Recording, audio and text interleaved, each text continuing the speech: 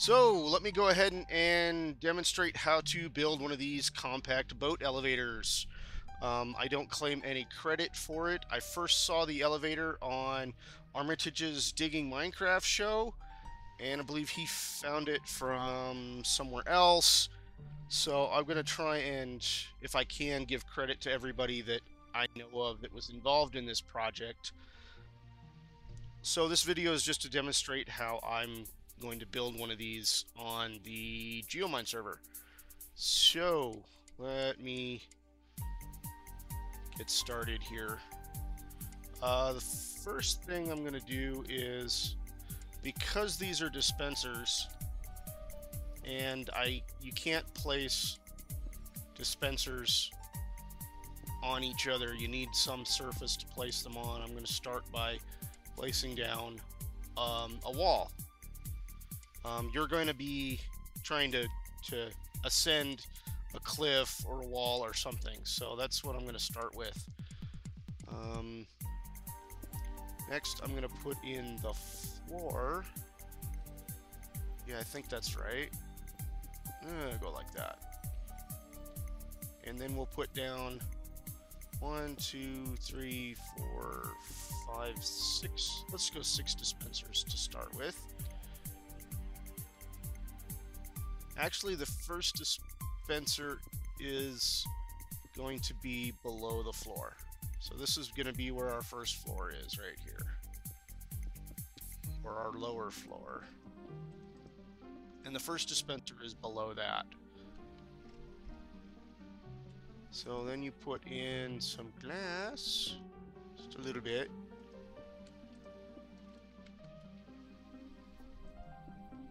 And then opposite the dispensers, you need a column of something. Could be this could be glass, this could be stone. Um, it needs to be something you can attach a sign to. So you need to put signs all the way up. And let's go ahead and finish up putting in our glass. The glass is going to contain the boat and the water.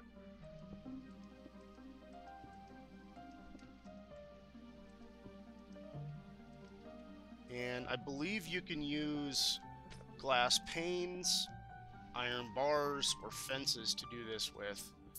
But I think the glass just looks better. I'm going to go ahead and put buckets of water in the dispensers to start with. Okay, I just put dispensers into the first first two so that when I put down this torch it will activate the bottom two dispensers. And with the bottom two dispensers activated your boat should be able to fall down the elevator and stop here on the first floor. So that's why those are there. And let's create a little access hatch that we can get into and put the boat down on there. Okay, now that we've got the boat ready and the first two dispensers ready, um, we're going to need to set up our vertical wiring and get a push button set up. So, let me let me double check this for a second. So it's on the fourth. On the fourth dispenser, one, two, three, four, you put in your first red, redstone torch facing the dispenser itself. And then you put in a backwards one, and then you put in another one facing it. And they should go zigzagging all the way up, as far up as you can go, back and forth, back and forth, just like this. So to, to get the push button activated, we need to create a line of wiring. Okay, I've got a button on the front here, and I'm going to put a line of redstone across here, and a repeater into this block here, so it should look like, the wiring should look like this. So you've got your vertical back and forth wiring here with uh, torches.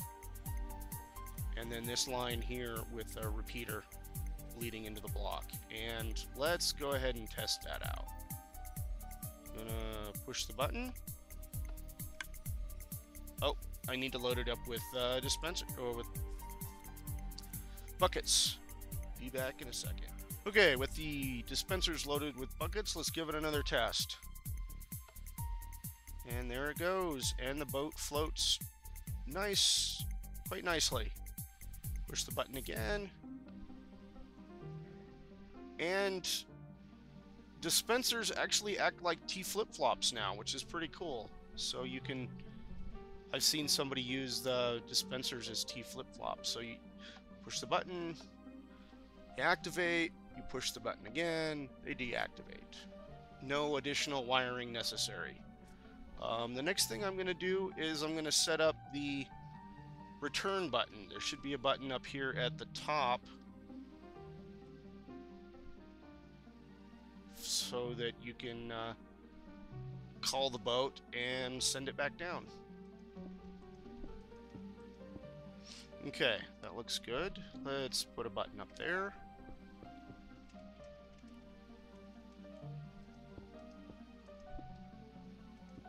And the vertical wire I'm creating next is for downwards, for going down. Um, it may not be the best or most efficient, but it's what I know that works.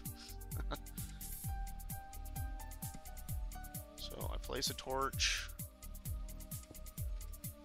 and then two blocks below I place a redstone the torch.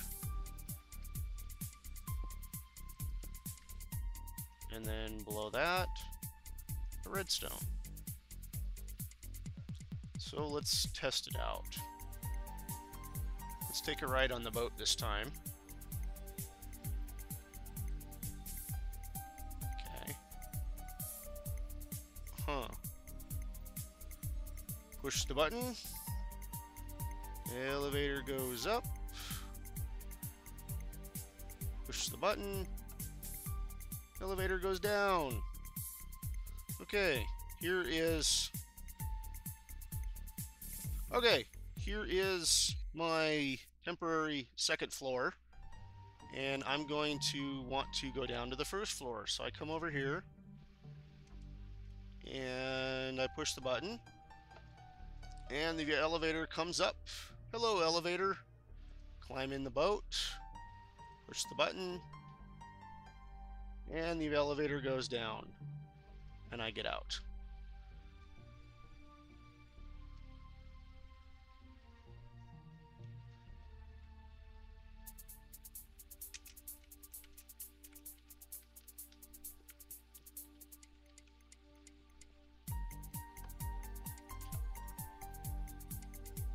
So that concludes this part of the tutorial. Check back with the next tutorial and I'll sh show you guys how I set up a floor selector or a multi-floor selector for this.